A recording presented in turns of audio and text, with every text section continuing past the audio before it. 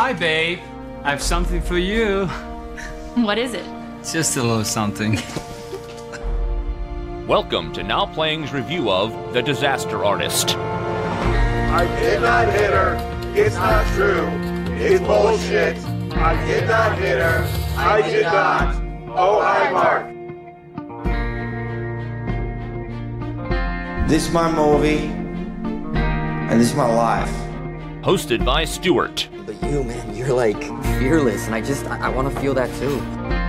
Jakob, Where in the hell did you meet a man like that? and Arnie. You have a malevolent presence. You are a perfect villain. I, I'm not Frankenstein. I'm a hero. These podcasts contain detailed plot spoilers and harsh language. You are tearing me apart, Lisa! Listener discretion is advised. Look, we'll talk about it later. I told you I'm very busy. I can't wait till later. I want to talk right now.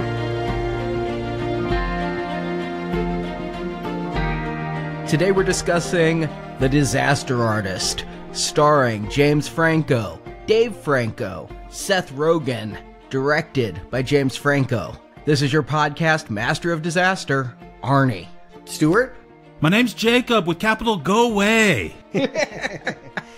Happy New Year's, guys! Our last show of 2017 was reputedly the worst film ever made. How did that happen? We're here to discuss that with the disaster artist. Yeah, if that was a lump of coal, this one, I don't know, we're popping the champagne. This is a, at least at this point in recording, a Golden Globe nominee. The Oscar stuff hasn't come out, but this could be a potential award winner. Yeah, you would never think that anything that would come out of the room would ever win an Oscar, but this might do it, largely because of the determination to bring this to the screen by James Franco. He kind of does the Tommy Wiseau thing. He is going to both star and direct this, but he didn't write it. No, this is based off of a tell-all that Greg Sestero, he did have another writer with him. I, he had a guy who did journalism. And so I think Greg Sestero, he's like, here's all these stories. And then you had a much more competent writer put it together and tell a pretty compelling story. I like the way the disaster artist book is set up. You get one chapter about Greg and Tommy's relationship, and then a chapter about some crazy story of the room being made. And apparently Franco read The Disaster Artist before he saw The Room. So he experienced The Room in a very different way than probably 99% of the planet do. Everyone sees The Room and then goes, how the hell do you make a movie that bad? And then maybe you pick up the book.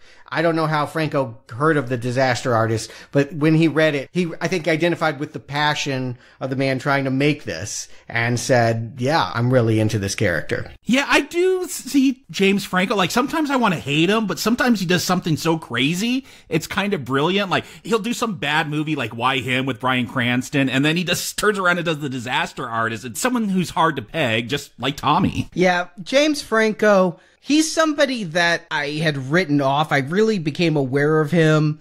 I did watch like two episodes of Freaks and Geeks, but he never made an impression on me. It was the Spider-Man movies that brought him to my attention. I forgot he was in those. yeah, me too. Again, I think there are so many James Francos. He serves so many different audiences.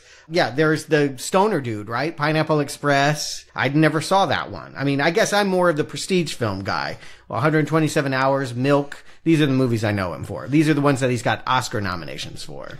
And I think he's probably due. I mean, I felt like he got robbed on Spring Breakers, and that's oh. the film I forget he's in because he so got lost in a character. I forget that's James Franco. That is the only movie, and even including the Disaster Artist, Spring Breakers is the only movie where I can't see the Franco in Franco. It's where I finally was won over. Yeah, I always found Franco a little bit pretentious, particularly when you see the stuff he's making on his own. You're like, uh, this guy's trying too hard. He wants to be the new Nick Cage. But yeah, I loved his take on Alien so much. I really, Spring Breaker is, he's everything in that movie. Yeah, I don't like that movie, but he's great in it. Yeah. And again, I think we see that he has a soft spot for delusional people that are looking for fame. That there is a real through line between maybe himself an alien of Spring Breakers and Tommy Wiseau. He likes that guy. Yeah, I would hope there would be a love for Tommy because I know we spent a lot of time last week bashing the room, making fun of Tommy, but I do find him compelling. Like you were saying, Stuart,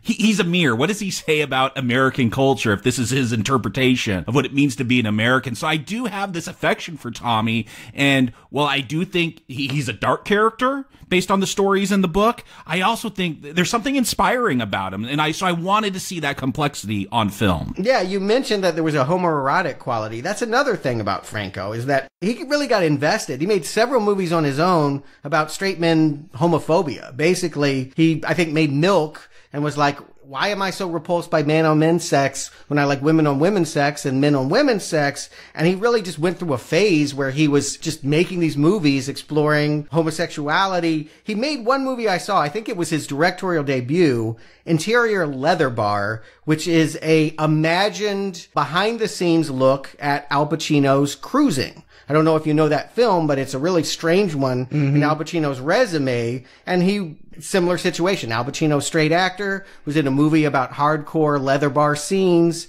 He made this his directorial debut. And I see a through line between that movie in the movie we're here to discuss today. The look behind the scenes and characters trying to use art and filmmaking in particular to work through their psychological issues. I think that's another reason why he's drawn to Wiseau. The interviews I read beforehand, and I did try to stay pretty spoiler free on this. I mean, not that there's much of a spoiler when it's a real life story and I've seen the result of this. I know it's not going to end with him getting Oscar gold, but they saw it as a way to universalize the story of somebody with a Hollywood dream. And anybody who's ever had the dream of going to Hollywood and making it big and striking out on their own and giving it everything they've got, that they were trying to do that. But I came into this movie really, really scared because I saw James Franco, and we've said there's many James Francos, but it was produced and also starring Seth Rogen. And there's only one of only him. one of I mean, they go back I to first Freaks and Geeks together Rogen because of I 40 year old became virgin. aware of Rogen I first because became of aware of Rogen 40 year old because of 40 year old virgin. Every single movie I've seen him in after that,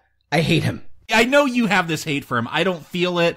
I like when him and Frank are together in Freaks and Geeks. I mean, he's a stoner character, I feel like, in every comedy, and sometimes it works, sometimes it's just, eh, whatever, I've seen this before. I don't think I've seen many. I saw This Is the End. That was the apocalyptic one. Yeah, he's funny in that. I thought that one was just fine. And, you know, they did a parody of a very mockable Kanye West video that I thought they nailed pretty well. But I guess I don't know these two work. If we were doing a retrospective, maybe I could have some kind of anticipation about what they were going to do with the room and the Tommy Wiseau story. Not having those expectations, I think that Franco is perfect for looking at this guy as both a director and an actor. It would have been more fun if he did the full thing and, and also wrote it. But the screenwriters on this are guys that do romantic comedies. Fault in Our Stars, 500 Days of Summer, people that know how to tell human drama. But if you look at the producing group here, including James Weaver and Evan Goldberg, this last time this crew got together and made a movie, it was supposed to be so controversial. It was your American duty to watch it.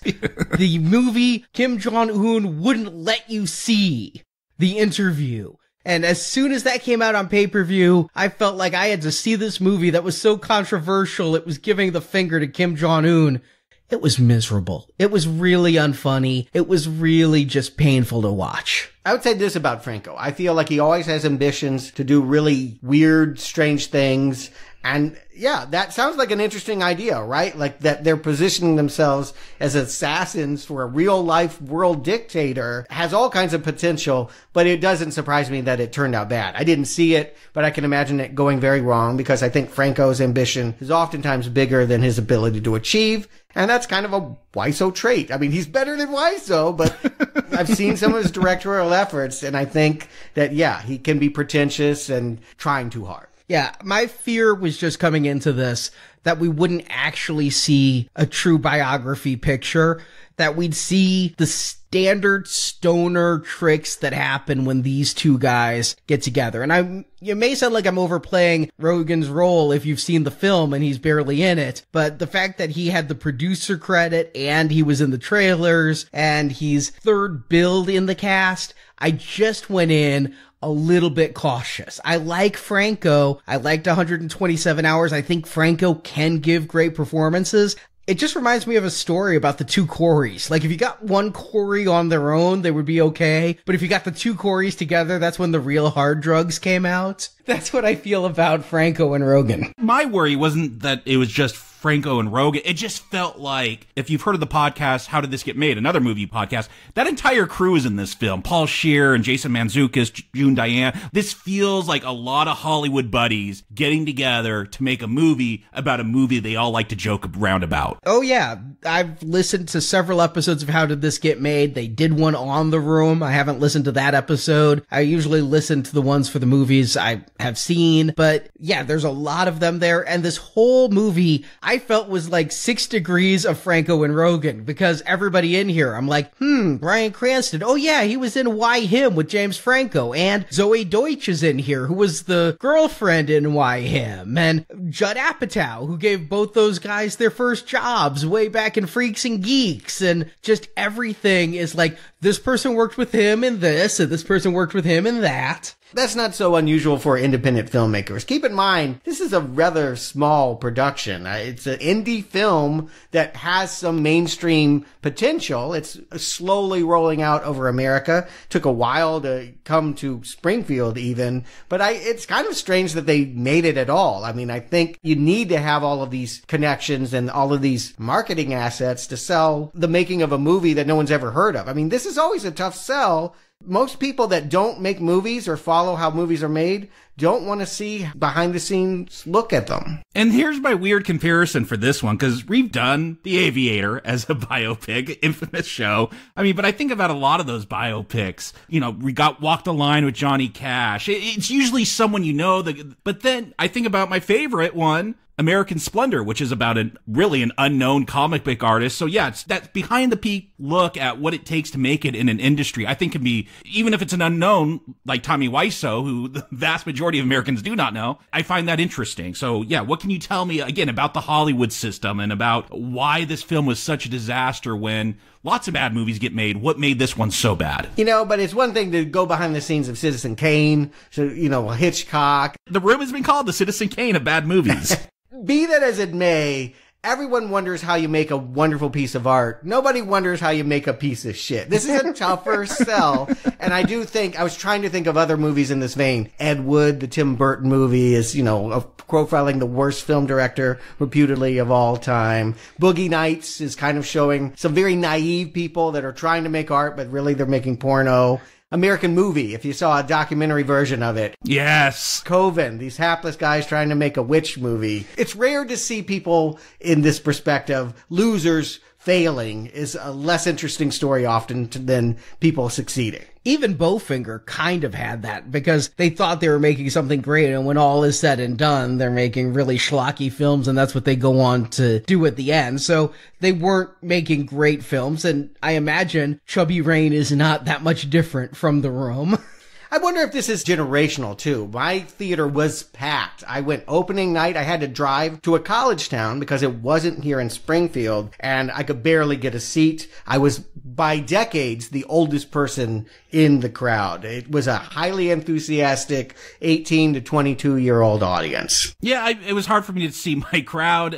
I, I just figured they're around my same age, but it was a packed theater. I mean, it's LA. I would expect that more for this kind of movie. I didn't have to drive hours to go see it, which was nice. But yeah, it is a younger crowd. Yeah, 20 to 40 year olds. And I, of course, had a very different experience. I also had to drive hours to see it because it didn't come to Springfield. It did come to several cities a couple hours away. I also went to Champaign, a college town.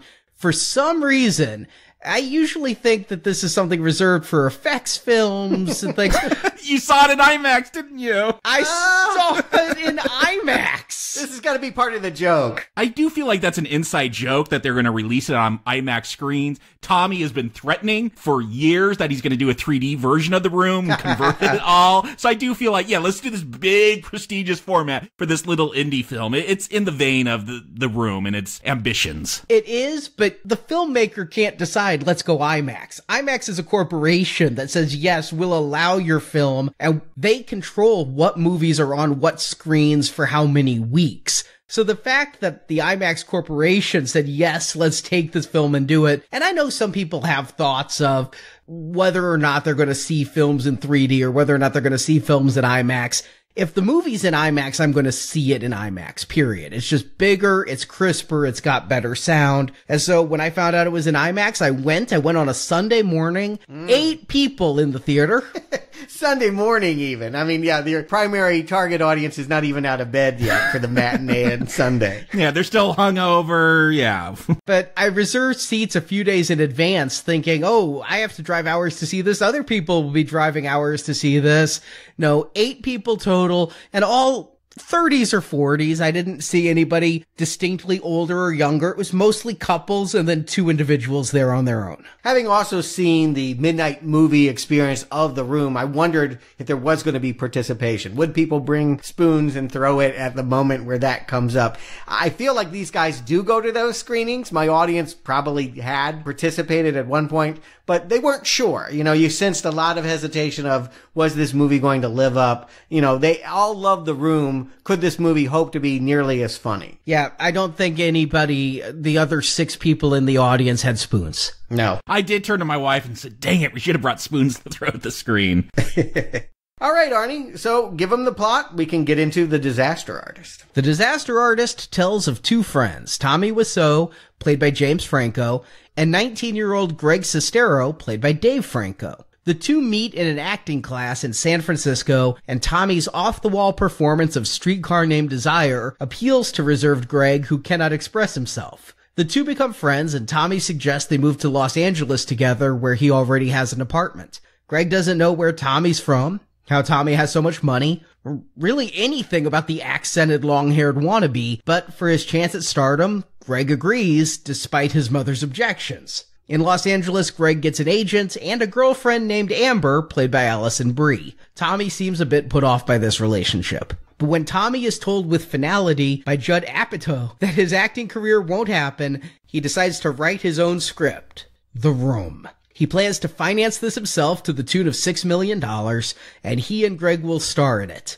They buy their equipment and hire a professional crew, including script supervisor Sandy Schklair, played by Seth Rogen, and director of photography Raphael Smadja, played by Paul Scheer. Only those two seem to be able to realize the debacle the film is becoming, but their paychecks clear, so they put up with Tommy, who becomes even more eccentric and demanding. Things worsen between Tommy and Greg when Greg decides to move in with Amber, and Tommy acts jealous. Tommy even seems to retaliate when he refuses to give Greg a day off so he can go film a part for Malcolm in the Middle. The film is finished, but the friendship is destroyed. Greg and Amber break up and Greg stays in LA acting on stage, but Tommy finishes the film and uses his own money for a grand premiere. He convinces Greg to go, which he does, but to Tommy's horror, his film is not met with the dramatic feelings, but with gales of uproarious laughter at the inept film. But the laughter in itself is an emotion, and the crowd gives Tommy a standing ovation, which he accepts as credits roll. In order to get this movie started, I, we all know that yes, people are probably going to go see it if it gets award consideration, or maybe they listen to this podcast and they want to know what the hell we're talking about this week. but by and large, this movie will be discovered a year from now when people are streaming and like, what the hell is this? And they're going to give it about two minutes. I guess the thought is if you throw a lot of famous faces J.J. Abrams, Kristen Bell, Danny McBride, that that somehow will make this story more appealing. Totally unnecessary, but I guess it's a way to get people hooked into something that they probably otherwise don't know about. This whole opening scene kind of put me off. Again, this feels like an incestuous film crew, like just all buds in Hollywood. And that's how this opening feels, where they're talking about, oh, this great film that they wish they could have been a part of. Uh, you know, Adam Scott. Yeah, he, I know you wish you weren't in Hellraiser Bloodline. You would have been, rather been in the room. But I feel like if you're trying to sell this, if this is here to sell this to an audience not familiar with the movie, well, at the end, we're going to see side by side comparisons again, which feels a little self congratulatory. But why not open up with some scenes from the room to set that mood, to set that expectation, to get people into this, to know what they're in for? I think that what this does, it sets the stage for what the room is. Showing just a few scenes of the room isn't enough. If you showed me clips of the room, I don't think that I'd be able to appreciate the true mess it is, you have to watch the room. So if you can't force people to sit down and watch the room and you want them able to appreciate the mess that is coming. This is like one of those movies that you see somebody get shot and then you flash back and the first half of the film is leading up to them getting shot and then the movie picks up.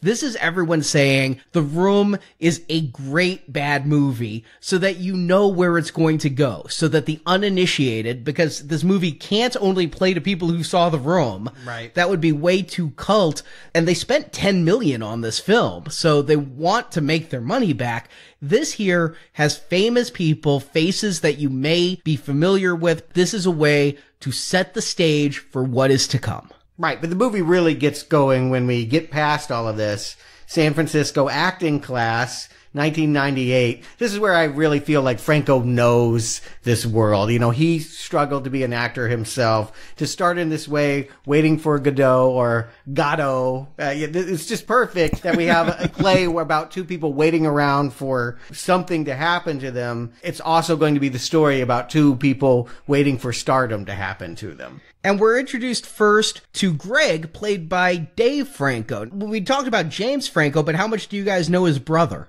Not at all. Yeah, I've seen him in a few things. I couldn't name him off the top of my head though. I first saw him. I loved the TV show Scrubs. If you guys have seen that, Zach Braff. And at a certain point, it jumped networks over to ABC and lost most of its cast and became Scrubs The Next Generation. And Marjorie and I watched every episode and I'm like, there's something about this actor. He just seems really familiar when he smiles.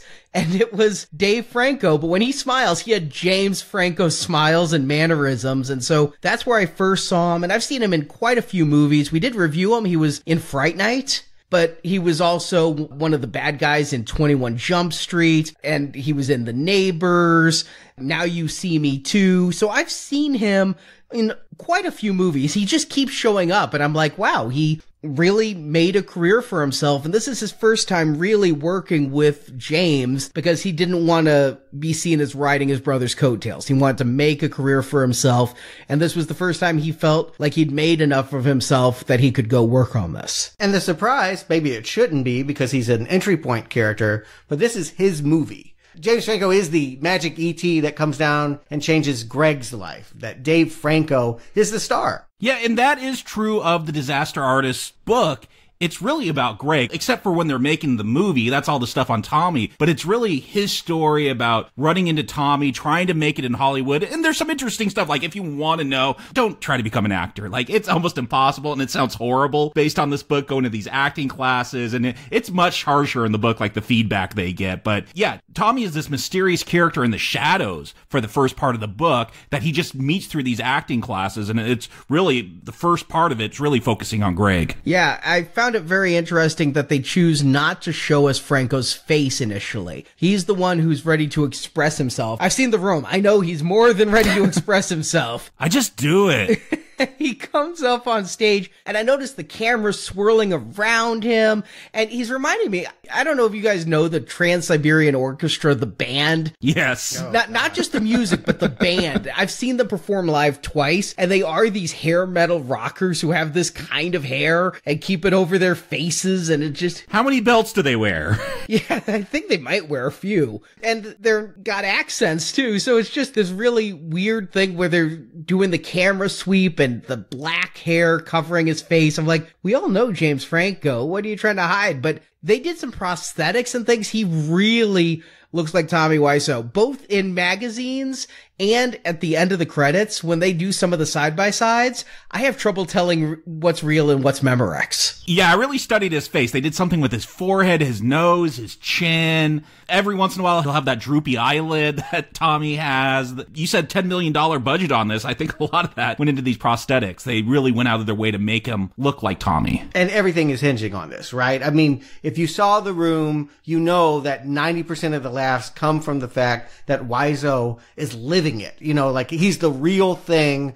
trying to sell this hoary melodrama. And it's not the same thing for actors to try and recreate that. You got to be really good in order to channel what Tommy brings to the screen. I'm going to say it. James Franco is really good in this role. It is the most delightful performance I can think of seeing this year. There might be better acting. There might be more nuanced parts but I think that this is the most fun I've had watching an actor this year. Yeah, for all my problems with how they're going to frame this story, because I think it could have been much more interesting than ultimately what they do. I don't have any complaints about James Franco's portrayal of Tommy. Like, I was smiling, I was laughing, I was waiting for him to say certain lines because I like Tommy. Like, the last two weeks we've been doing The Room of the Disaster Artist, I've just been watching YouTube videos of him, interviews, stuff he's done. He's a delight to watch because he is such a bizarre character. It's, it's nice to have a bit of weirdness in your life. When I said I could see James Franco in this role, when I could see the actor behind the mask, it's primarily when he smiles. I feel like James Franco has this certain squinty face scrunching smile that I first noticed back in the Spider-Man days and he's used a lot in his stoner films. That comes out a few times, but honestly, for knowing James Franco, and I watched 127 hours and the whole movie I'm thinking about how's James Franco gonna get out, not remembering his character's name. Here, I lost both James and Dave to becoming Tommy and Greg. It's easy to forget their brothers, especially since there's going to be a weird pseudo love story that if they're brothers is really uncomfortable. yeah, that is something they underline here is they're going to keep them a, mostly a mystery. I mean, that was one thing I was wondering last week was how revelatory was this going to be? How much are they going to be able to tell me something about Tommy that I wouldn't have speculated? The answer is not much. By choice, they have decided to make him more mythic. This is a character whose whole essence is that I'm mercurial. You can never get a hold of me. I am beyond your laws of physics, really. And so I can blow into this acting class. I can disrupt this diner. My emotions are me. And that's all we'll know. Again, this is what most people are going to come to see to know what is the story of the room. I don't know how many people are going to go and read the book or really kind of do a deep dive like I've been doing. Even in the book, they propose a backstory for Tommy, like piecing little clues together and they portray it in that mythic sense. Like there was a boy. They never say it was Tommy. It was just that story kind of shifts shifts throughout the book because there's always new information coming up. You think of Heath Ledger's The Joker in The Dark Knight, how he's always changing his origin story. I feel like they could have done something like that. Interesting because, you know, Tommy Wiseau, that's not his real name. Wiseau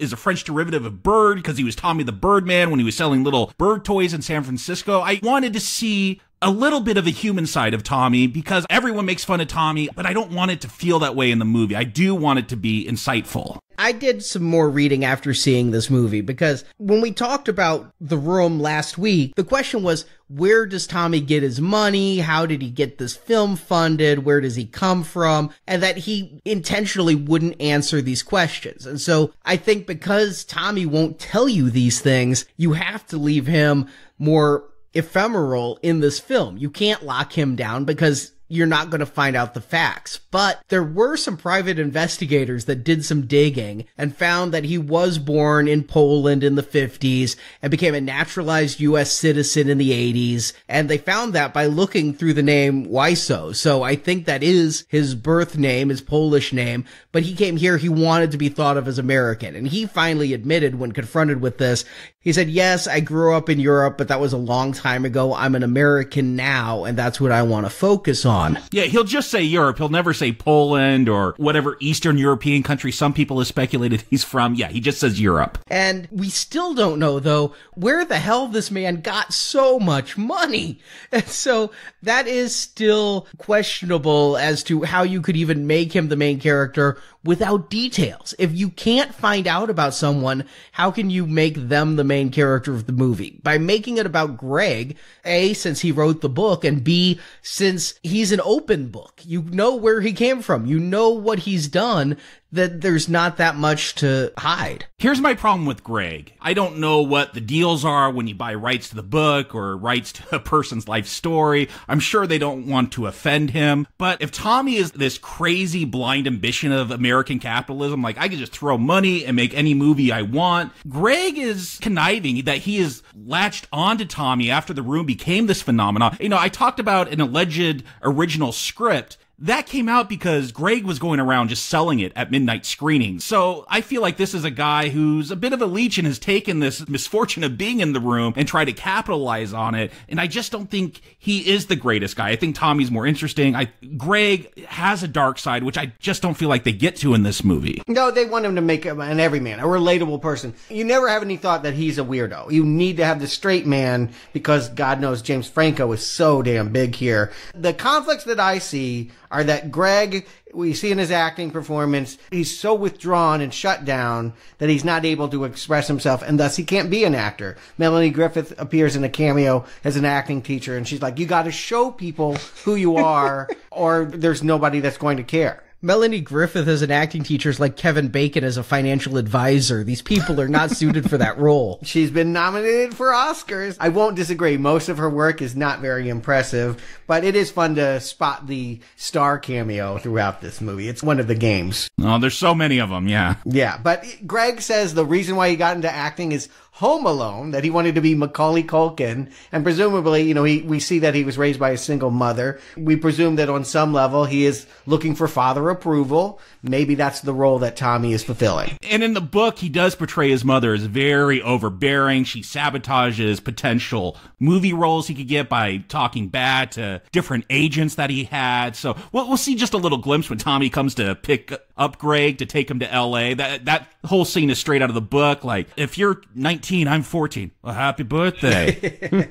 so much fun in watching. Again, he's a magical character. I, you just want to see him walk into every situation and disarm people because he can disarm everyone. He's so weird. You just don't even know what to say or do. I mean, I love Melanie Griffith's response to his version of Streetcar. I mean, thank you for that. Yeah, and the mother, Megan Mullally, most known for Will and Grace, but of course was in Why Him as well, and she was actually really good in Why Him. But I did like what I read that in the book or in real life, one of the things the mother also said is, please don't have sex with my son. Yes. And you get that sense. You picked up on it watching the movie. It's kind of there when you see things like Denny jumping in the bed with Johnny in the room. Yeah, you get the sense that there are weird boundaries between the male characters, but here they're going to make it overt. That this is going to be a story of jealousy that for Tommy, it seems to be there's something that he deeply admires about this babyface kid. Maybe it's just the loss of youth. Tommy is middle aged. He wishes he could have the beginnings that our handsome young Greg has. I also think it's just Greg's a friend to him. What's weird to me, where are the women that Tommy has been with? Like, wouldn't someone come out and go, yes, I am the real Lisa? And there has been nothing like that, which feels very strange. Where are these stories, these personal friends of his? I don't see it coming out anywhere. So I do think, oh, here's someone that will be my friend. That is an appeal to Tommy because I don't know if he has that. Again, in the book, there's that Chloe character who we see as the casting director in the room. She is some old, in real life, an old woman in a wheelchair that he would talk to and try to speak with an American accent. She'd try to coach him and he just put her name on there as like, because she's a friend. But where are these close contacts coming out and trying to capitalize off this movie? Well, as far as the women go, Tommy Wiseau has had one movie. I don't know that the women would really want to come out and say, yeah, I've been with that. But here's something that I just can't get a beat on because we don't know anything about Tommy's real life and it's not shown in this movie. We don't know his orientation. We don't see boyfriends. We don't see girlfriends. And I think you could read this relationship with Greg a couple different ways. Greg asks if you have an apartment in LA, because we find out Tommy not only has an apartment in San Francisco, but one in LA. He drives a Mercedes. And he's got a giant keyring. I think he's got an apartment everywhere. I thought he was a janitor. yeah, in the book, it's revealed that he owns a lot of properties in San Francisco. I just think that when asked why haven't you gone there before, he said, I didn't have a friend to do it with. I really believe that because I went to New York for New Year's 1999, but I wouldn't have done it if a friend hadn't gone with me. I wouldn't have done that alone. There's just certain things that you don't want to take alone. You don't want to do these journeys alone. You don't want to feel alone. And I get the feeling that despite being middle aged, the way it comes off here is that Tommy's never had a friend. It's a real talent of James Franco that this doesn't feel creepy. I mean, this is kind of the start of a thriller, right? Single white female or something. I'm going to take over your identity. Talent of Mr. Ripley. They did call it out in the film. I didn't think they would. Exactly. There's the perfect analog. And I never ever feel a lecherous vibe off of it because of James Franco. When he's singing Never Gonna Give You Up, the Rick Astley hit from the 80s, it feels sweet. I laugh. I do not cringe. I do not worry for Greg. Greg will be better off hanging out with Tommy. I guess I wanted a little bit more of that dark side. Again, the book, there are some times where Tommy does feel very dangerous and like this could go very wrong. This movie, it's more about the celebration. It's about, look, here's this great character who made this disastrous movie that everyone has come to love. It's brought joy to so many people. Let's lionize that. Let's celebrate that. And, and, and it's not the challenging biopic that you might expect of Howard Hughes or J. Edgar Hoover. That would be a problem if I was looking for a drama, but I think this is a comedy. I think in just about every scene, I am smiling or laughing about something. I mean, I think it's just a joy to watch this Franco Wiseau merger happen on screen. Here's what I noticed in the film when I really started to break it down though. The first 45 minutes of the film, just under half, is really not that funny. There is the scene of Tommy throwing himself around Stella! And there's the scene of them making a goof of themselves in the restaurant. And there's a few Megan Mullally lines, but it's not laugh out loud funny. My audience was pretty muted during that time. It's when later on they start making the movie that this becomes honestly laugh out loud funny. But the scene that Tommy hits his lowest, he's alone at a fancy restaurant for dinner and he sees Mr. Big Producer Man, who I didn't recognize. Yeah, I didn't know what Judd Apatow looked No. like, so I didn't realize that was him. I love he's out on a date and the date says, what do you think of the new Star Wars movie? Oh, it's not very good, but Jar Jar was funny. There's so much about this restaurant scene that felt true, the way the waiters conduct themselves. Again, I'm going to just call myself out. I'm biased towards liking this movie because it's nailing so much about LA life correctly. There are so many producers that conduct themselves in public like Judd Apatow is in the scene. I don't think he's playing himself. He's playing anonymous big shot, but it's a good portrayal. I think he's playing himself because I read that his agent started getting flooded because he was ad libbing the lines. And when he says, call this person at this agency, that's actually Apatow's agent at that agency. He gave real names and information, but you gotta think this happens in Hollywood. People don't just know the stars. If you're working hard to get in, you're learning who the behind the scenes people are. And if you see them in a restaurant, God, it's gotta be horrible that people would just come up to you and do this. But I love Apatow's line to the hostess. He got through two fucking acts of Hamlet before you did something. And that is a good line. to see Tommy doing to be or not to be.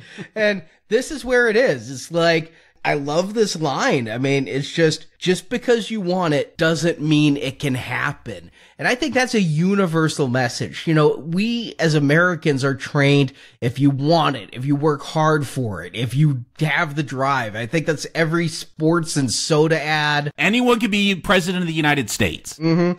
But what he says is a cold dose of reality.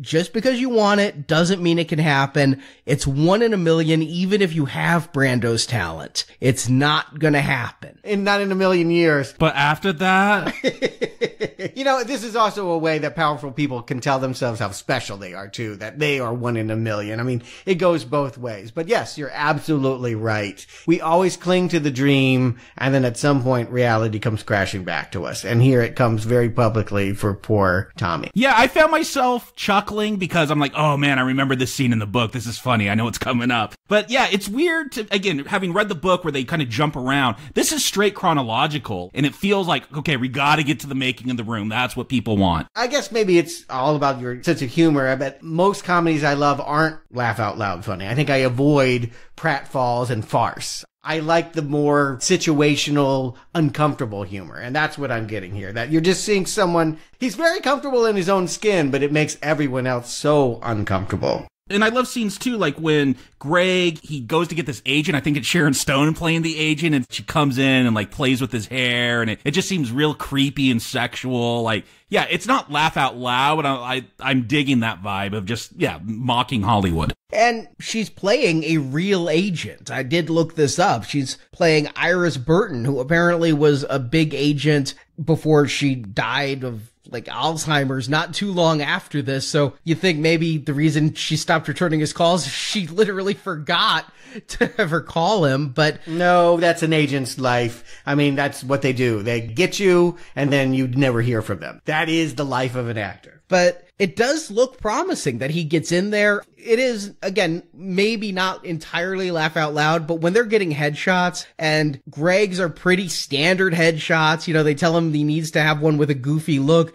And then you see Tommy's and it's, I was thinking he was posing for like a Fabio romance novel cover with the fan blowing and he's on all fours. What, you trying to blow me away? Yeah, he just has a different sense about what cool is. You know, like his idea is like, I think he's trying to be Michael Jackson most of the time. I mean, it's just, and no one wanted to be Michael Jackson in 1998, but like that to him was still cool. He has a very strange compass on what he should be even going after. And yeah, the scene where he's asked to drop his accent and then he does, I guess, a Brando, it still has the Eastern European inflection. Yeah, just, I, again, I think every scene is delightful. I am so on James Franco's side. And I, I like the idea that Greg could learn a lot from him, that he's not put off by it in these early scenes, that even though he is embarrassing in a nightclub doing his dance to Rhythm of the Night, he always wants to be by his side and be his friend. Yeah, I, I want to buy this soundtrack, but I think I own the soundtrack.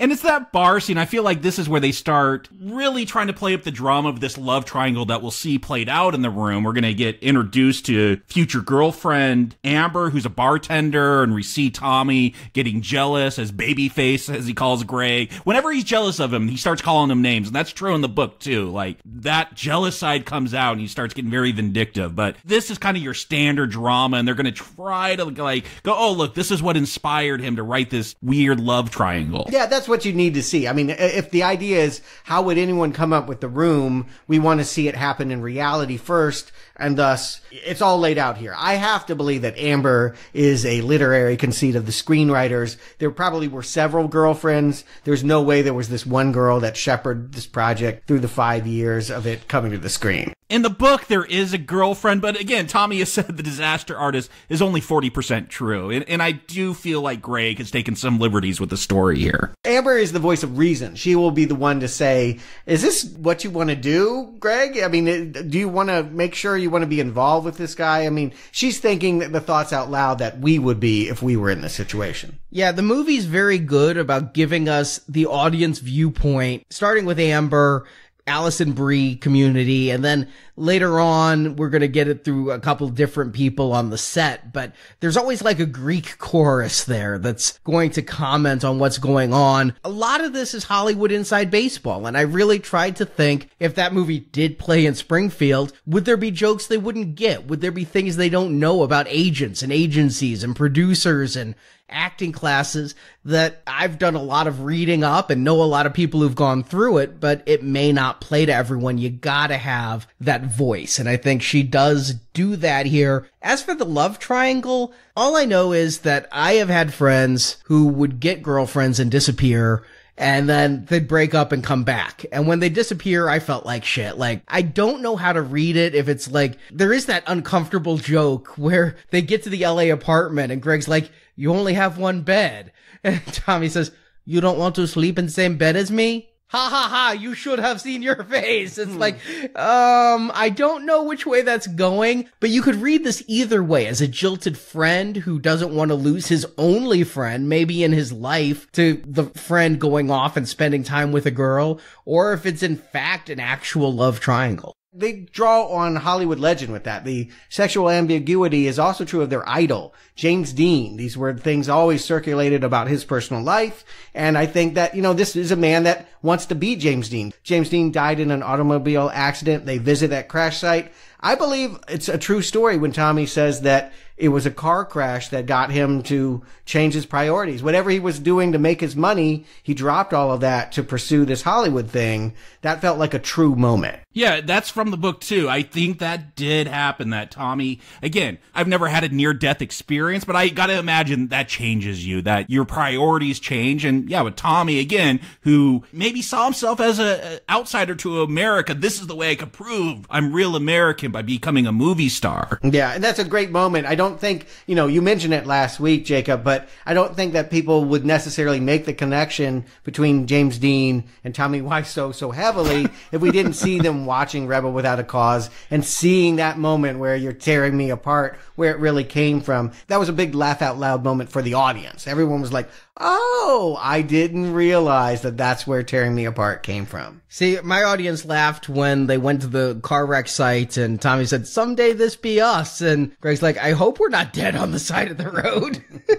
yes, indeed. But here's the thing. He wants to be James Dean. Hollywood is telling him you're a villain. And that's Tommy's central conflict. He goes and he takes the Stanislavski class where there's like, yeah, you can be Caliban, you can be Frankenstein, you can be Dracula, but you can never be James Dean. Yeah, I, lo- I love Bob Odenkirk here as the director for the acting class. I always enjoy him as a comedic actor. And he's giving good advice. I mean, he is mm. being earnest. He says, I'm giving you a shortcut to success. If all Tommy wanted to do was be famous, there's nothing wrong with being a Bela Lugosi. Yeah. Yeah, I gotta figure, Stuart, maybe you have some insight, but like, I think of like a John C. Reilly. Like, how do you look like John C. Reilly and go, I'm gonna go to Hollywood and be an actor? You're never gonna be a leading man. I gotta think that actors, certain actors, they accept that they are not leading material. They're going to be a character actor or they're going to be a villainous actor because of how they look. Being aware of how you come across is a key to any actor. I just would put it out there. It's the thing I hear about all the time. I gave up those dreams in childhood, but I had many actor friends in LA and they talked about, look, you just have to get over it. You're vain in other ways,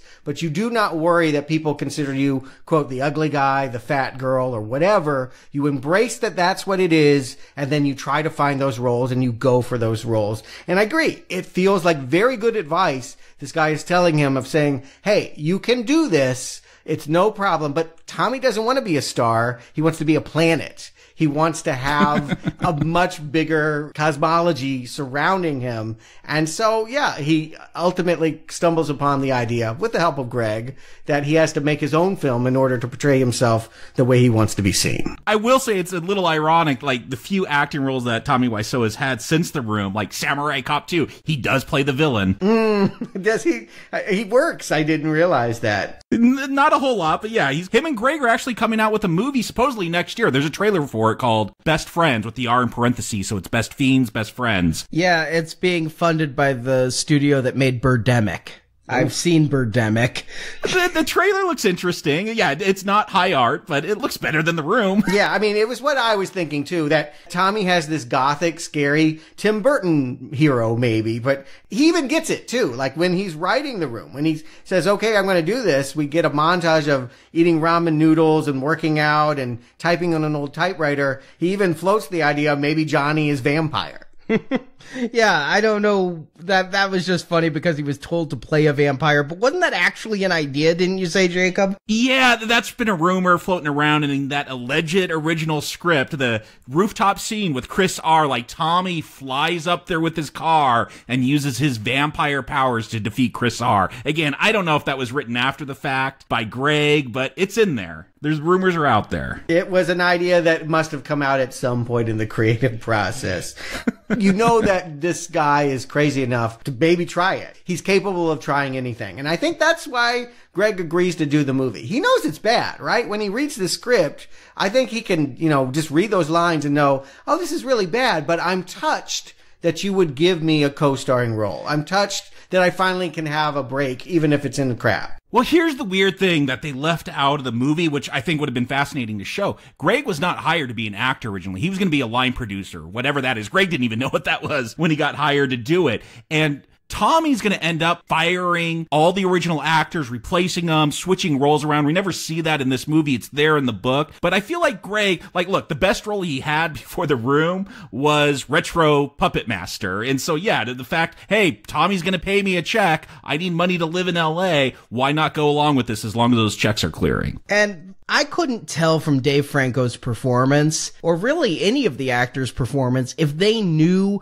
exactly how bad what they're in is. When Dave Franco is saying, you want me to star with you, it feels like he's actually touched. It's like he can't realize, and maybe he just hasn't read enough scripts to be able to tell a good one from a bad one. But when reading it, I never get the impression he knows he's in a disaster. That's for his girlfriend to tell him. Yeah, no, I think the conceit of the movie is that Greg was excited about all this. And again, that book, maybe Greg writing it in hindsight, oh, this movie's so awful, I gotta make people believe that I knew how bad it was gonna be. But the movie, at least, it shows him excited about this and wanting to go along with Tommy. The way I took it, and just from the performance, I haven't read The Disaster Artist. What I saw was in the cafe, he's made to sit and read it in one sitting. He repeats the dumb lines. He kind of knows it's bad. He doesn't know it's going to be the disaster because no one would even predict it from the script. Things get so much worse when you see all the other choices that are made. More on that to come. But I think ultimately, you know, many people have terrible scripts and you agree to do your friend's project knowing it's not going to be very good. But I want the experience. You know, actors just want to be on camera. And the fact that he's being offered a major role, that this is good for his reel. No matter how good the movie ends up being or anyone sees it, it's good to have on your resume, I was in a feature film. And this is where things really start to snowball and move quickly because I don't know why Tommy took so long to come to this idea. If he had all this money, a banker is going to break all kinds of privacy laws and say that his bank account is a bottomless pit. If he has all this money, you'd think he'd have gotten to this. I think it's Greg. I feel like he knew secretly he wasn't enough to sell a movie, that, that he needed a, a baby face in order to sell this. That he isn't James Dean as much as he tries. In the book, at least, it feels like, yeah, it was that friendship with Greg. He saw Greg being successful and it was that jealousy that drove him. He got that retro puppet master role and I haven't been able to get a role uh, setting out all my headshots. So I'm just going to make my own movie. I could be better than Hollywood. Here, it, it does seem weird. It's just like, okay, let's just do this finally. You say he needs a baby face, but the thing that I think would be hardest to cast in this movie, quite honestly, is a woman to get naked in bed with him and to let it appear like he's having sex while putting her breasts on camera, which we know he found an actress to do in real life. And here,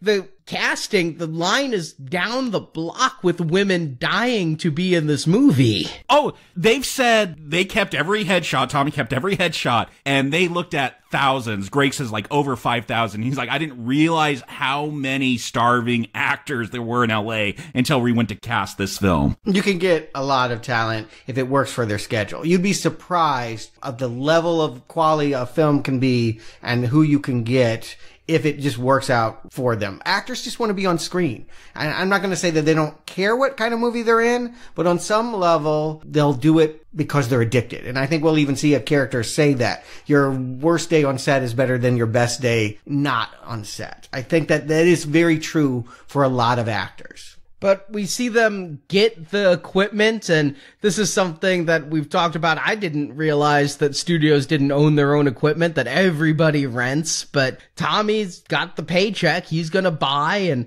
I love it. It's like the guys don't even know what to do when somebody wants to buy equipment. Yeah, it's undone. I mean, Panavision does not sell equipment. I mean, I mentioned that last week. This was the sh- most shocking detail about the room was that he was able to buy Panavision cameras and digital cameras and shoot side by side. I mean, this is, this is the scene for me as someone that studied film that just, it's forehead slapping. You can see why Hannibal Buress and this other guy are just going to jump on this. That is real on the room DVD extras. They have, you know, we'll see in the movie, The Disaster Artist, someone's just walking around doing behind the scenes video.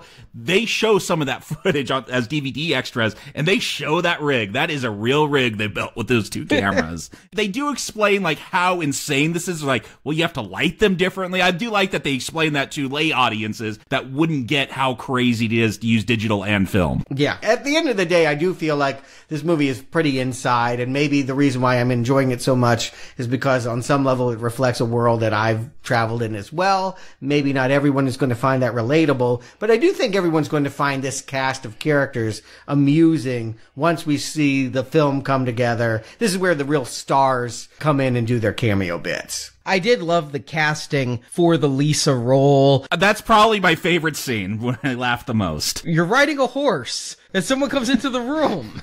and you're talking to them and you're licking the ice cream and it's melting and it's just like but it's not a porno Yeah, and just I feel at some point they realize they have the power to do this, and like I'd start fucking with people too. You know, it's like in Coming to America. Bark like a dog, hop on one foot. Yeah, do it like Shakespeare. But what's also impressive is that some of these actresses nail it. Shakespeare, but sexy. She does read the line. She does. She does nail it. Yes. she nailed it. I would have hired her. She was so good. But the one who argues, like, I'm not going to do this. What the hell is this? Oh, they hire her.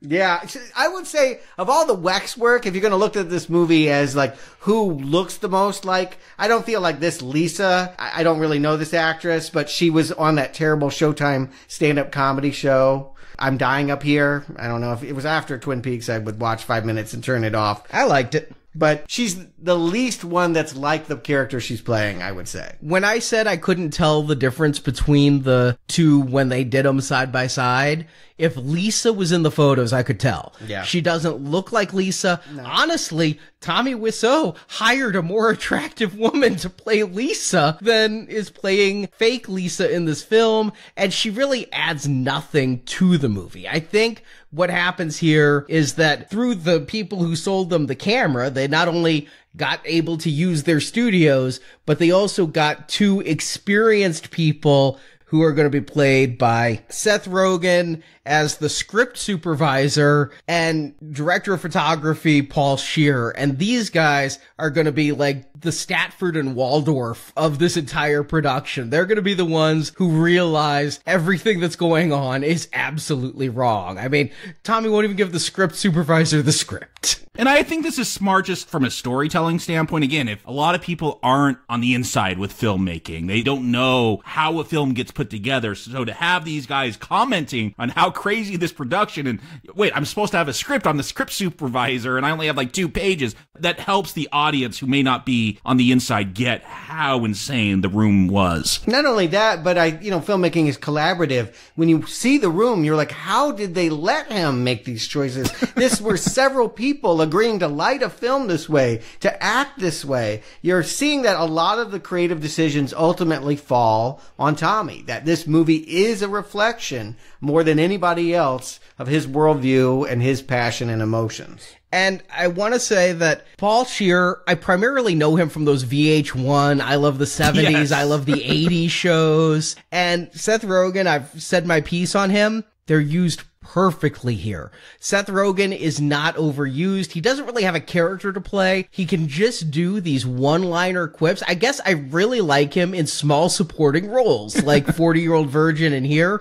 Just, you were talking, Jakob, about people who can never be a leading man. Never try to make Seth Rogen a leading man, especially in an action film like Green Hornet. Just don't do it. Oh, I forgot about that so bad. I'll say the same with Paul Scheer though, but he surprised me. Like he'll get a scene later on where he flips out on Tommy and like I just know that guy as being a funny, yeah, commentator on VH1 shows and doing that podcast. Like, they're able to bring some dimension here. And it's not just, again, I thought, oh, is this just going to be a jokey movie because we're all fans of the room? But no, I think they do bring in their skills as actors and to tell a story here. My favorite casting, though. It's my favorite character in the room. Denny! Yeah, I mean, come on, Josh Hutcherson. We always said it during the Hunger Games. Yeah. Peeta! We know that he's older, but he looks like a child. So he's the perfect choice for playing a 26 year old who's told to play at his age at 15 years old. And yeah, he really, the wig, everything about this. It's the first day of shooting what's supposed to be a 40 days. And, and one of the funny running jokes is how the day one of 40 becomes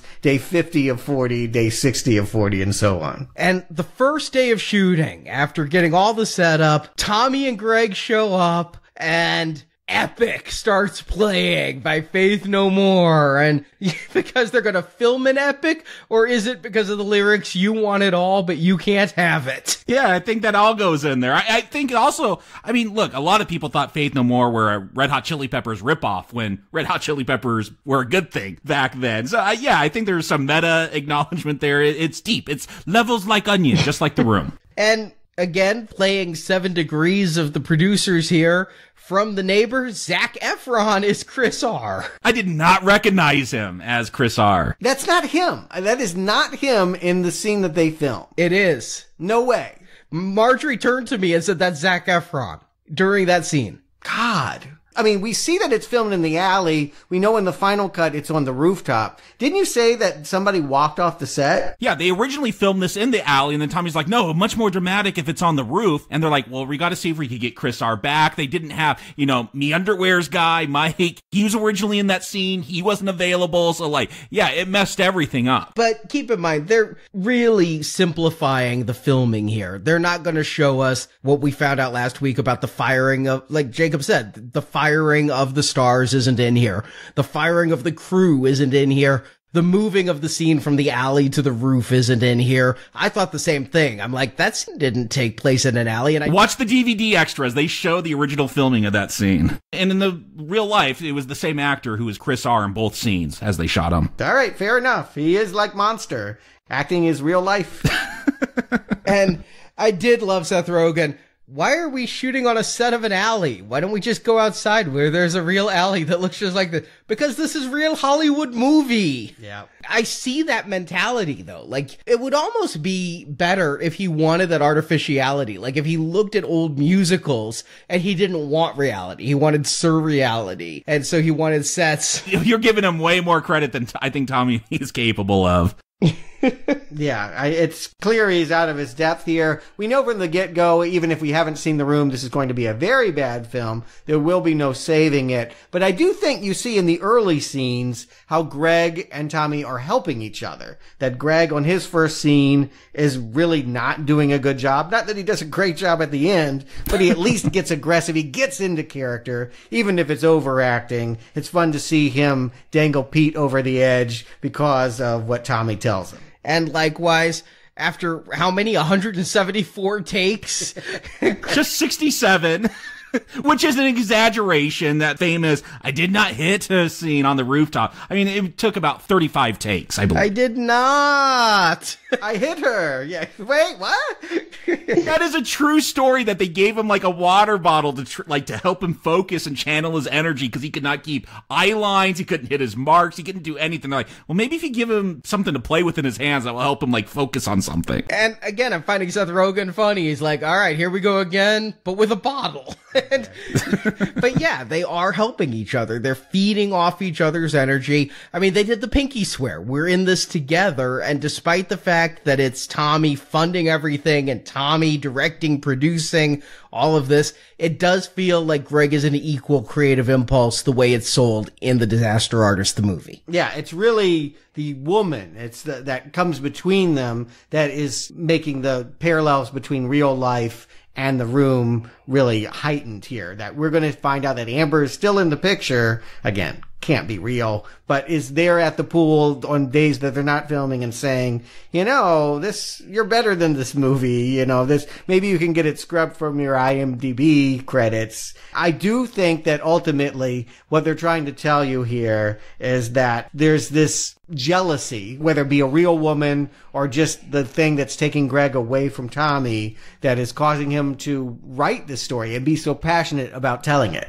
There's a scene because of Amber that like Greg has a chance to get a real role. This is not in the book. This is not true as far as I could tell. They run into Bryan Cranston at Canter's, which look, if you want to run into movie stars, Canter's in Hollywood is a good place to hang out. I will say that. But yeah, he gets a little role in Malcolm in the Middle and he has to keep that beard. And this is why Tommy made him shave for that tuxedo entrance scene. All right. I looked this up. This was my biggest question. I knew Franco and Cranston were in Why Him together. And I'm like, okay, did this really happen? Was he in Malcolm in the Middle? The timeline is right. No, this is not based on any reality. This was added because James Franco just thought it would be funny to have Bryan Cranston playing himself back in his Malcolm in the Middle days when he was nothing but a broad comedian is what he was seen as. And the real reason that Greg didn't want to shave his beard. There was a fight about the beard, but the real reason was Greg kept thinking, this movie's going wrong. And if I have this beard, I could just shave it off after the movie and then I could just not be associated with it by my face. If they make me shave the beard for the movie, then everybody's going to see me. Yeah, I don't want to hear the truth. I want, I like the idea that we're following the fable. It serves the purpose of this love story and this, you know, love triangle that we're sticking to these jealousy storylines. Yeah, if you're sticking to a, a, narrative as you would expect in a movie like this about friends and they, they gotta have, you know, a rom-com, you have that moment where there's that tension. And so, okay, yeah, add that scene where Tommy gets jealous because there is dark stuff in The Disaster Artist where like, again, they go to tell Mr. Ripley and Greg's friends are like, Tommy is Matt Damon. He's going to kill you. so there is that darkness. And you see that again on the set of The Room during that sex scene with James Franco's Tommy walking around with a sock over his dick. And I found this to be really incredible. Franco could not break character from Tommy while he was filming. Franco was directing using the Tommy mannerisms and the Tommy voice because if he didn't, he'd lose it and he couldn't bring it back when it became time to film. And so the crew, the real crew is discussing like at times Franco would be yelling cut. They're like, is this Tommy yelling cut in the movie or is this James Franco in Tommy's voice telling us to actually cut?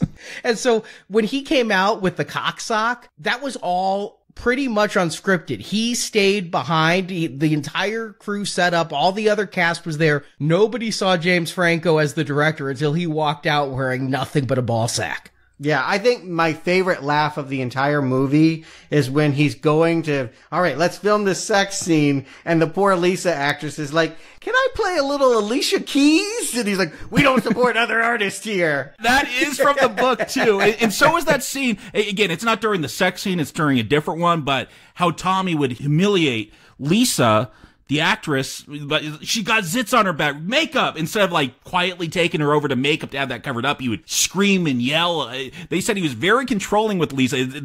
It was weird. It was like this incestuous relationship because as a director actor, he's acting like a father and daughter, but then they're playing lovers on screen. Yeah, and of course, what I'm laughing at is not the fact that he's abusing her. That's actually the darkest moment in the movie. But yeah, just the idea that he is so, yeah, he, there can be no other artist brought in here. It is only his vision. You can't even play mood music, which any scene where you're having sex, you're going to have a closed set with minimal crew and you're going to make the actors feel as comfortable as possible because that reads, that translates in the film. Otherwise you end up with sex scenes like the ones we have in the room. And like we said last week, Seth Rogen's like, is he screwing her belly button? He does know where the vagina is, right? And the way he's like, we must show my ass to make this big movie. yeah, that's the marketing tool. I have to be naked.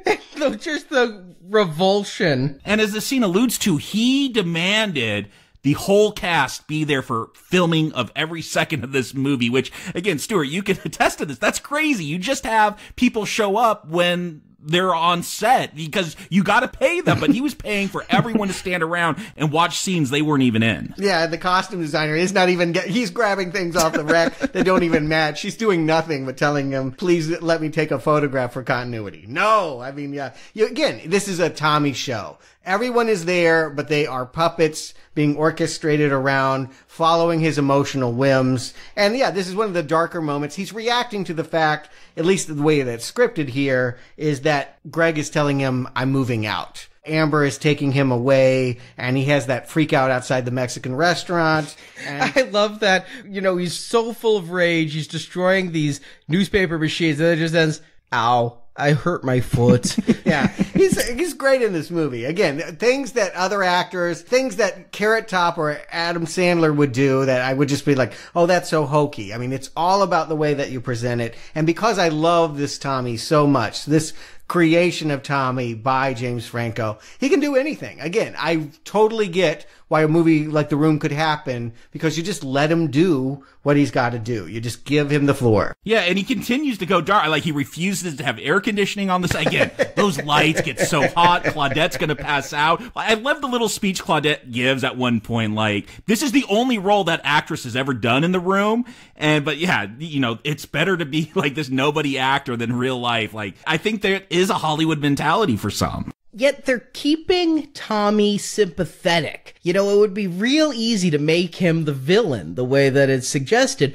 but we see him at night. He's still got that videographer going around documenting everything and he's hearing what people are saying about him and it's hurting his feelings, but he's trying to put on a brave face. He's coming off like an asshole, but he's trying to not let it get to him. And it finally all blows up during that sex scene. And that's where Paul Shearer really does have a dramatic moment where he gets fired. And then they're like, at the end, am I fired or not? You know, I thought this would be the scene because of what we talked about last week where Tommy fires the entire crew and then we bring in the next crew, but they're not going to do that.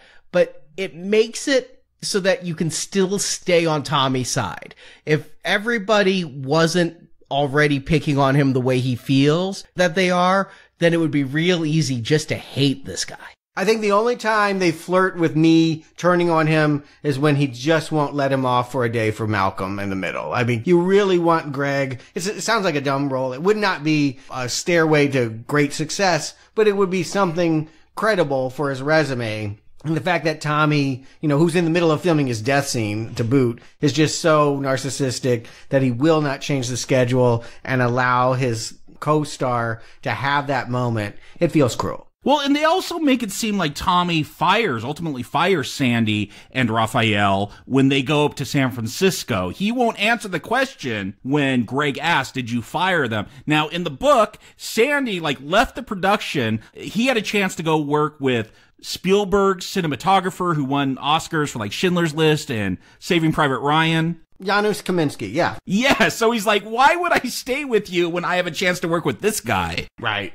No one can blame anyone for bailing on this movie. It's a testament to how desperate or how dedicated all these people are that they showed up day after day on hot sets with, yeah, no water. And you do feel for Tommy in all this. You know, he does you're right. They're gossiping about him, but of course we would be talking shit about him if we were on this set. I mean, nothing that's being said is untrue, but yeah, because of James Franco and I suppose Wiseau himself, we just keep hoping that they stay dedicated to him because we stay dedicated to him. And we have this, I guess the breakup scene is when they go back to where they originally first met and filmed stuff in San Francisco, the football stuff. Is this true? It's all overdubbed in the room. You don't know what they're saying, but th- they would have you believe that it's actually a fight while they're throwing the football around. Yeah, again, I feel like they're doing this for narrative beats in a movie. In the book, when they go to San Francisco, this is where Greg realizes, oh, Tommy owns all these properties in San Francisco. Why didn't we shoot on the roof of an apartment building he owned? He talks about the guerrilla production, shooting without permits.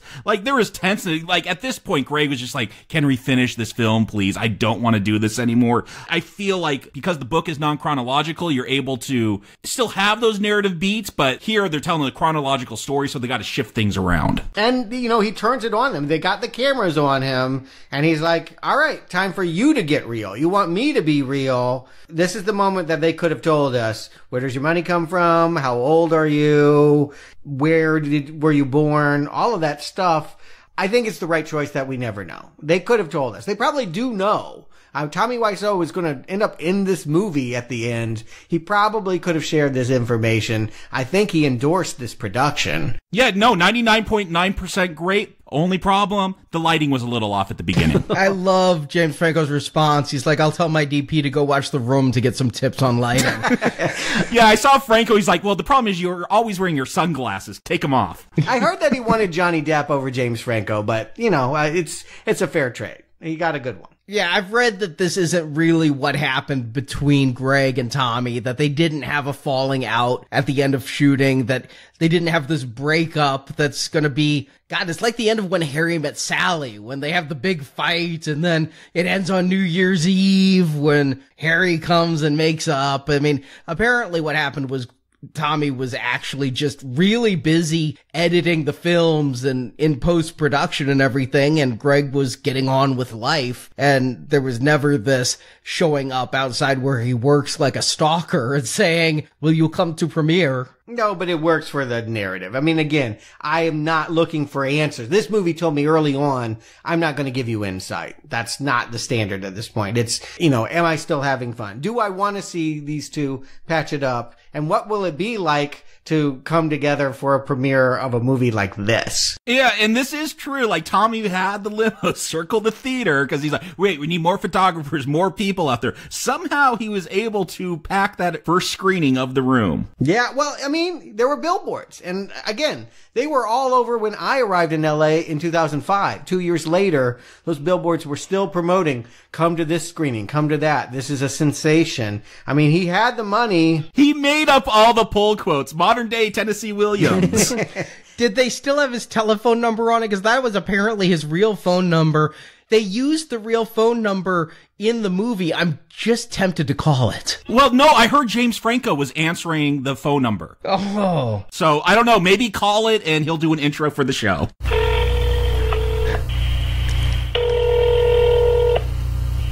Hi, we're hotline for The Room. For scheduling of The Please go to www.theroommmovie.com. For merchandising, go to tommywiseau.com, T-O-M-M-Y-W-I-S-E-A-U, or www.theroommmovie.com. Thank you for your support. Enjoy The Room, and we see you at the screening of The Room. Keep in mind, with a special screening of The Room, go to www.theroommmovie.com.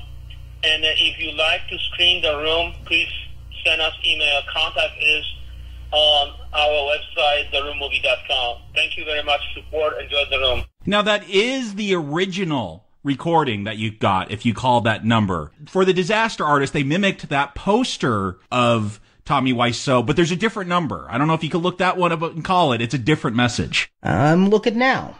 All right, I think I found it. It was on Twitter.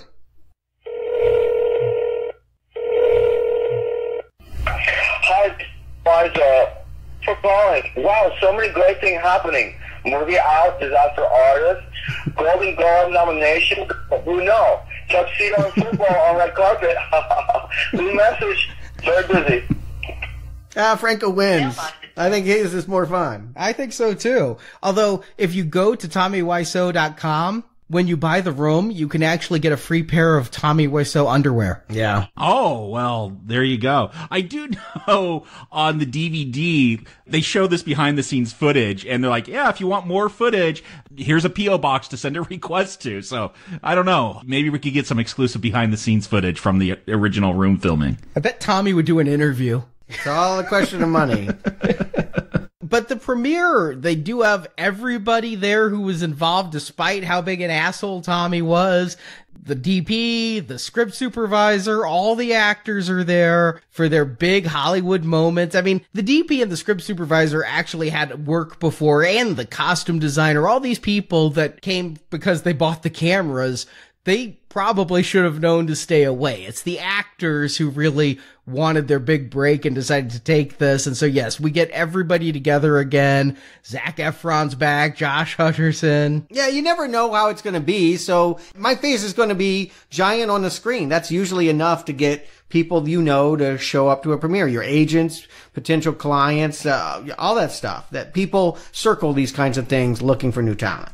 And this is the scene really that nails it, that this is going to be a celebration of the room because I feel like I'm watching the producers at one point, like as springtime for Hitler breaks out because people walked out. Greg walked out in the first five minutes because he couldn't watch those sex scenes. And the theater that Tommy rented to show this for two weeks so he could get an Oscar nomination, well, they had to put up a sign, no refunds because so many people were demanding their money back. the way they depicted in the film, it was like an instant cult hit. yeah, you know, it, it, it, takes a moment. It's a slow dawn. Like at first, you're just smiling because, like, oh, there's me, there's that. I remember all of this. It's flooding back at you. It takes them a little while to be like, this isn't good, is it? You know, it really isn't until tearing me apart. I would think it would come much earlier that the laughter would come, but when he finally delivers tearing me apart, the line from the room, that's when everyone is given permission to just go ahead and enjoy this as a laugh riot. I still do love the actress who played Lisa during the sex scenes covering her face.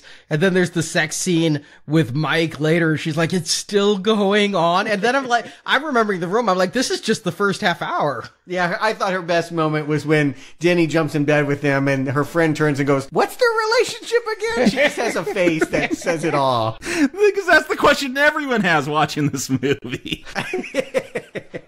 Again, they picked the choice moments to relive the room. If you didn't rewatch the room with us last week, this one is going to be the greatest hits moments of just why it is so wild and crazy. And but all refilmed by the actors in this movie, which gives it a little bit of a charm. It, it feels like a little road show. But at the end of the day, this is a buddy movie. It's a bromance. Maybe it's more than a bromance. I don't know, but it's about Tommy and Greg coming together. And so, yeah, it's mentioned the fact that Greg, Amber left him. He's with another girl. That didn't work out, but he still has Tommy. And at the end of the day, that they do for each other what they did on the set. That Tommy storms out of the screening thinking, you know, no one understands him. And it takes Greg to point out they understand you and they love you. You're not the villain. Yeah, and they get to stand up there. I knew that this couldn't be an immediate laugh riot that they would accept. I mean, Tommy would have to, I believe, spend years before he'd be like, I intended comedy, but to just play it like that, you're right.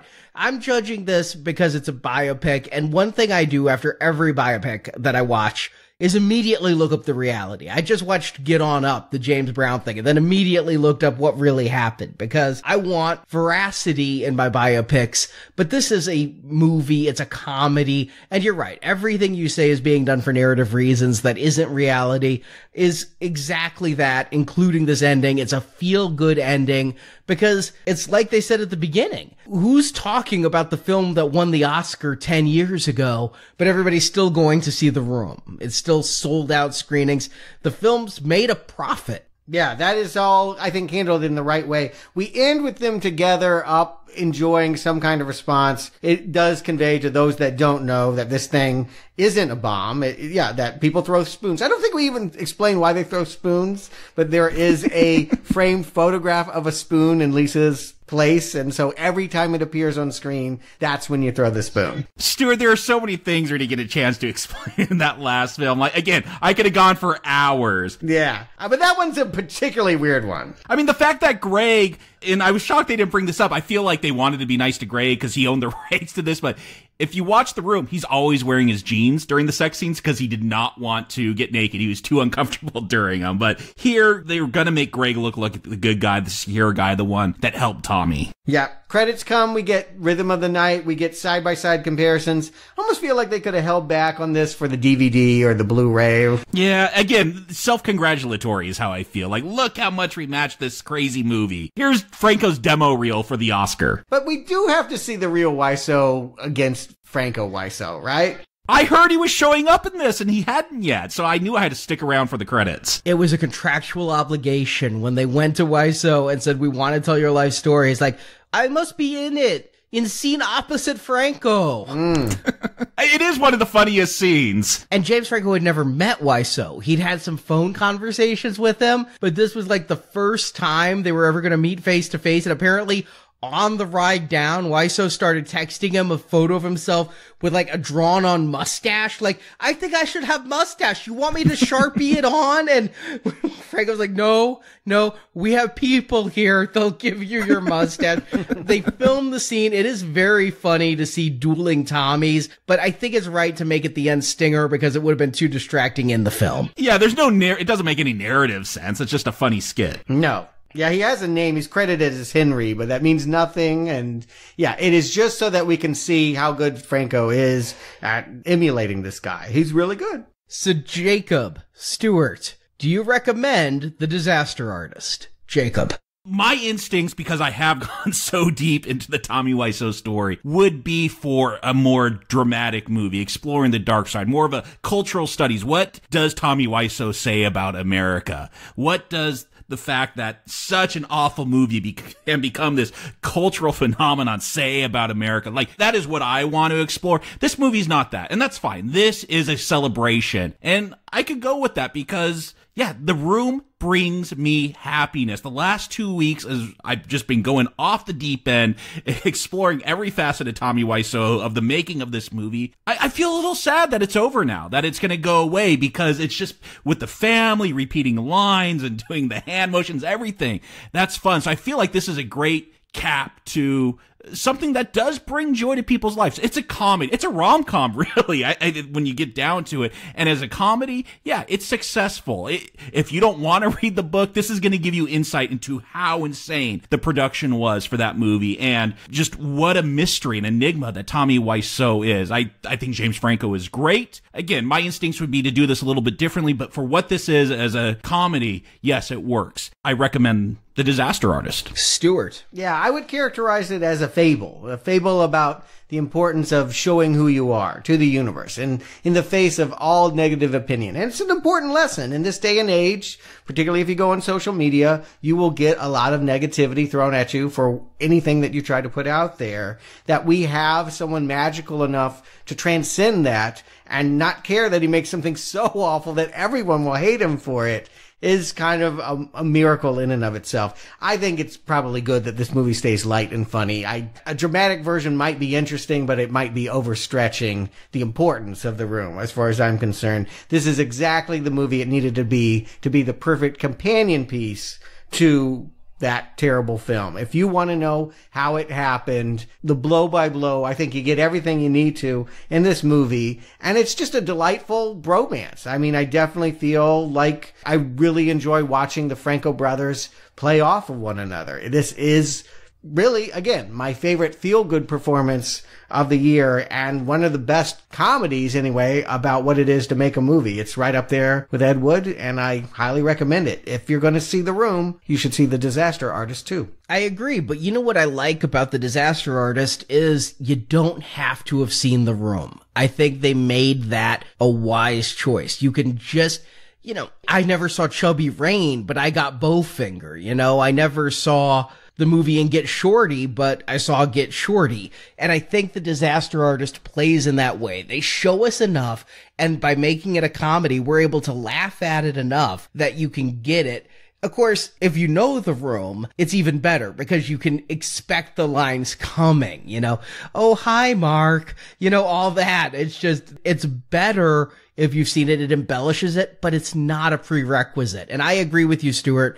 Making this a comedy is the right way to go because when people think of the room, they think of laughter. Yeah. And you don't want to take that and suddenly be tears of a clown and that this is oh so dramatic and make people feel bad for their laughter and their enjoyment of the room. If you made this a serious drama, everybody's going to walk out of there and feel like they were bullying Tommy when they threw the spoons. You know what I'm saying? And you want to keep it in the vein of what you're mocking. I think that this walks a great line between drama and comedy, but certainly overall it is a comedy. And it's one I really like. I have liked the Franco brothers from time to time in various roles. I think they do play very well together, and I forget they're brothers. I really do. I thought of them as Greg and Tommy. I didn't think of them as Dave and James. And everybody else is kind of peripheral. You know, no matter who you give third billing to, people float in and out of the orbit here. It's Greg and Tommy's movie but to a T, it's really good. And I will be very disappointed if Franco isn't again nominated when the Oscars come out. And, you know, for his snub in Spring Breakers and then his good performance here, you know, most people have to wait till they're 60 to get the career appreciation role, but I think Franco might deserve it. I think he's going to get it this Sunday when the Golden Globes run out, but that's because they break up acting between comedy and drama. There's no way the Oscars are going to give a comedic performance over a dramatic performance.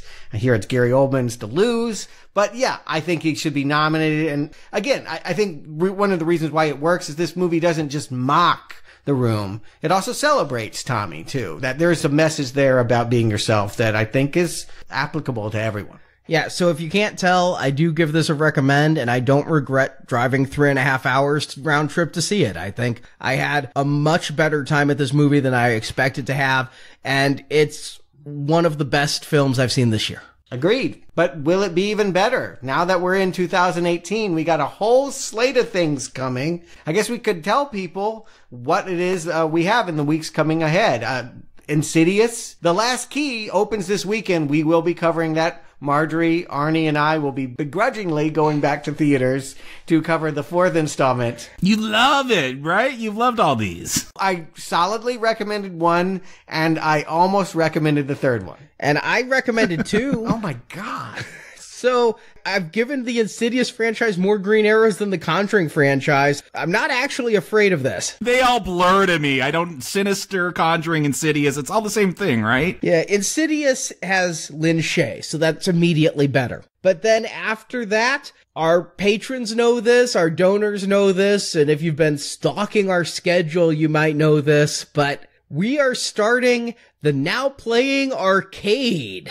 Do do do do do do Dude. Put another quarter in the coin op, baby, because every video game, whether it's uh, created for the Game Boy, your PC, or something for the internet the kids today love that I don't understand, like Minecraft, we are going to be covering it. Uh, we had to take a break from the Stephen King franchise. We'd like to be diving back into that realm, but it, part two, is it coming out? And we need that to come out before we can go forward. So instead, we got a year of looking at cinematic video game history. Oh boy, you thought the room was bad. Yeah, that will begin. We're going to try to follow game creation order. So the chronology of video games themselves. We're going to start with the coin ops. There is a wonderful documentary. I don't mind spoiling. Recommend King of Kong. It is a look at the coin op classics, Galaga, Miss Pac-Man, and of course Donkey Kong and Donkey Kong Jr. We're going to be kicking the retrospective off with the King of Kong, and then in the weeks to come, Super Mario Brothers,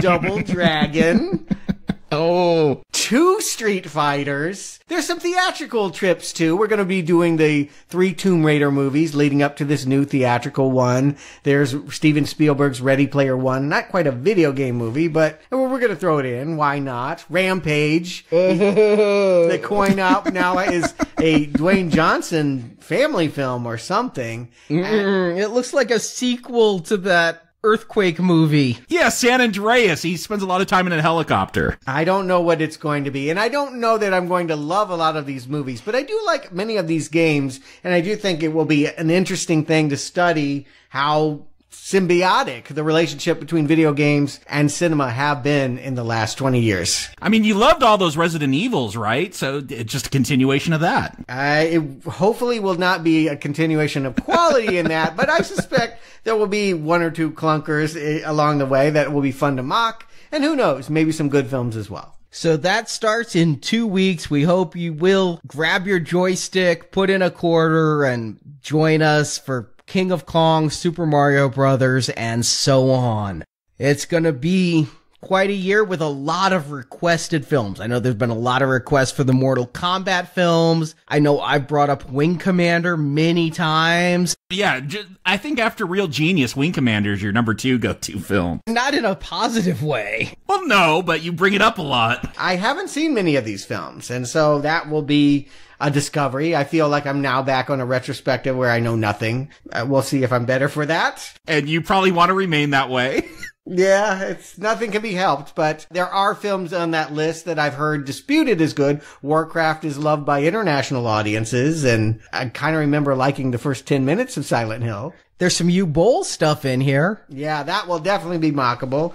I can't imagine Uwe Boll will get a green arrow, but he might get some browns. Yeah, no, those are just going to eat your quarters. He won't get any gameplay. I'm just going to hope that he offers to box us the way he offered to box some other critics. I'll take him up on it.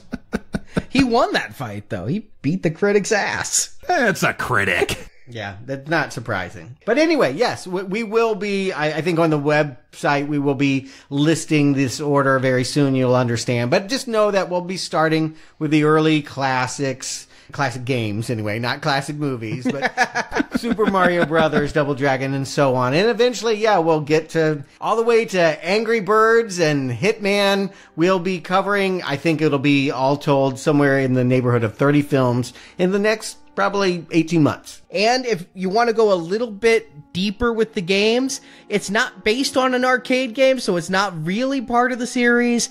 But for our patrons, the Easter egg kind of show we're doing to start everything off The Wizard, the 1989 Nintendo commercial. yeah, I was gonna say not really a film, more a commercial. Yeah, I keep wanting to d- warn people, not Wizard of Oz. You're like, oh, I love that movie. you don't love this movie. This was a very little film that I was, I, I never saw. Come on, Fred Savage. Everyone loves Fred Savage. If you were a kid of the 80s, you knew about it, but I'm not sure anybody would recognize it as a video game movie. But yes, it has the power glove, and they end up playing Super Mario 3 at the end of it. Spoiler alert! Ah, yeah. I guess it will count enough to. It wouldn't fit in our retrospective of coin op adaptations, but it is a funny way of beginning to talk about this series. And so, yes, we will be doing that for January patrons. And this Friday, the last leg of our donation drive starts for platinum level, the Jeepers Creepers trilogy, because, you know, in the middle of the Me Too movement, we love a good hot button topic. Nothing controversial here, but please know ahead of time. I advise people to read up on it, and if it feels like a conversation you want to hear, does get a little spicy. And if you want to hear it, you can find the donation drive at nowplayingpodcast.com forward slash donate. Well, Jakob Stuart, thank you for joining me, and until next week, don't worry about it. I still love you.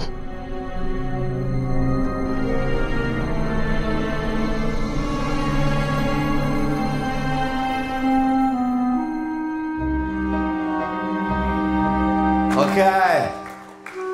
Wow. I'm glad you like my comedic movie. Exactly how I intended.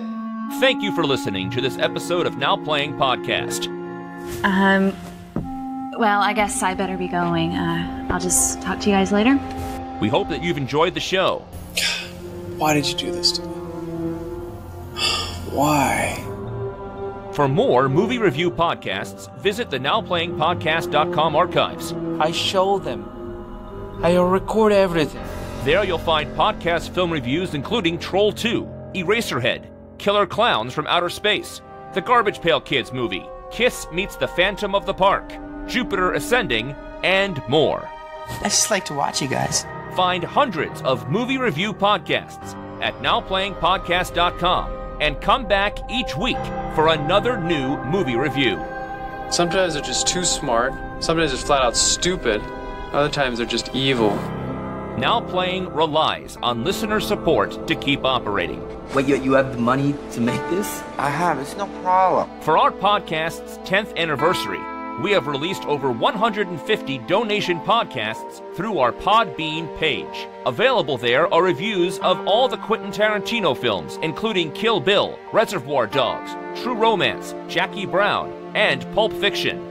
With podcasts on the Jurassic Park movies, the Alien films, Planet of the Apes, War of the World, Poltergeist, and more, find them all at Now Playing's Podbean page and in the NowPlayingPodcast.com archives. You have my money, right? Yeah, it's coming. It'll be here in a few minutes. What do you mean it's coming, Denny? Where's my money? You can join our Podbean crowdfunding campaign to help our show grow. Backers of $10 or more will receive exclusive bonus podcast reviews, including Lord of Illusions, Lego Batman, Hook, Monster Trucks, The Warriors, and Coherence. A link to our patron page is at nowplayingpodcast.com forward slash donate. Isn't it fabulous? Anything for my princess. Also at nowplayingpodcast.com forward slash book. You can order Now Playing's film review collection, Underrated Movies We Recommend. This book has 125 reviews about films you probably haven't seen, but you should. So I come back to get it, you know, and I pretend that I need a book. You know, I'm like Uh-huh, looking for my book. Want to take part in the discussion? Join the Now Playing hosts at our forums, where you and other listeners can give your thoughts on this movie review. Yeah, I'll let you know how it is, babyface. Maybe you can join me someday. Maybe I will. The link to our forums is at nowplayingpodcast.com. Well, sure, I can come, but I don't know if I'll bring anybody. You can also help out Now Playing by leaving us a five star review on iTunes. A link to Now Playing's iTunes listing can be found at nowplayingpodcast.com. Hi, doggy. You're my favorite customer. Thanks a lot. Bye. Bye bye. Now Playing is produced by Arnie Carvalho. Welcome to my planet, Greg. Now Playing is edited by Heath and Arnie. If you think I'm tired today, wait till you see me tomorrow. Now playing credit narration by Brock. I'm glad you're listening to your mother. Nobody else listens to me. You're probably right about that, Mom. The film discussed in this podcast and all audio clips and music used are the property of their respective copyright holders, and no infringement is intended. This podcast has not been prepared, approved, or licensed by any entity that created or produced the film analyzed herein. Now Playing Podcast is an independent movie review podcast with no affiliation with any company involved in the publishing, creating, or distribution of that film series. Tell me everything. You have no idea what kind of trouble you're in here, do you? The opinions expressed on Now Playing are those of the individual hosts and may not reflect the opinion of Venganza Media Incorporated. You're right. I know. I am right. Don't worry about those fuckers. You're a good man. Drink and let's have some fun. Now Playing Podcast is a Venganza Media production, copyright 2017, all rights reserved, and no part of this show may be reproduced, repurposed, or redistributed without the written permission of Venganza Media Incorporated. Why? Why is this happening to me? Why? It's over. God, forgive me.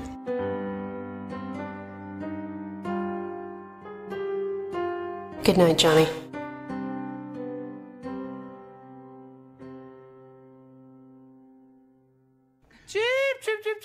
I realized Marjorie and I must have a thing. We saw Why Him last Christmas, Disaster Artist this Christmas. We have a Franco Christmas tradition.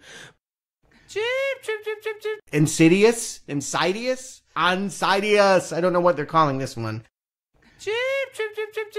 They buy their equipment and hire a professional crew, including script supervisor Sandy Sh- Shaklir, Shaklir, I think. Shiklar, Shiklar, Shiklar. Yeah, it, there should be a vowel somewhere at the beginning. That's not. It throws me off. including sh- shit. Let's just call him Sandy. yeah, script super. Yeah, I can't even say that. Yeah, I know. I just said Ship, shit. ship scooper cyber. I just said shit supervisor, which in the room is actually right. That's his job. Hold on, let's call. Hold on. I'm going to call right now. See what happens. Let me look up that number. You got to look up the one, the, the number that they did for the movie. It's the exact same. Yeah. Is it the exact same? Okay, yeah. I read that James Franco had started answering that phone. This is going to be like uh, Geraldo opening up the Al Capone's vault. Nah. oh, busy. All right. We'll try again after recommends. So many people calling it, I guess. We are starting the now playing arcade. Do do do do do do do. Put another quarter in the coin op, baby, because every video game, be they created for your Playboy, your Playboy, Playboy. be rather, That's a very different episode of Now Playing. yeah, that's a game that, I can't stop playing. yeah. Super Mario Brothers, Double Dragon, and so on. And eventually, yeah, we'll get to Angry Birds and Oh. What, what's what's another late one? How about the new Pokemon film that was just announced no, we're not action? doing- we're not doing- It's no, live action we're with not Ryan doing it. Reynolds. We're not doing it. We have to do Pokemon with Ryan Reynolds. Some of those Pokemon movies came out in theaters. That's not a. That's like a. No, it's a game. That's a whole lifestyle thing. That doesn't count No, it started as a game. as a video game. yeah. yes, Game Boy. Before everything else. Yeah. What? What if I get epilepsy? I can't watch those things. That's just the TV episode. Yeah. Mm. We can do the Ryan Reynolds live action one. I don't feel good about this. Thank your stars, Arnie's not making you do all the cartoon movies. Well, Jakob Stuart, thank you for joining me. And until next week, don't worry about it. I still love you. Your Wiseau's getting better. Cheep, cheep, cheep, cheep, cheep, cheep, cheep.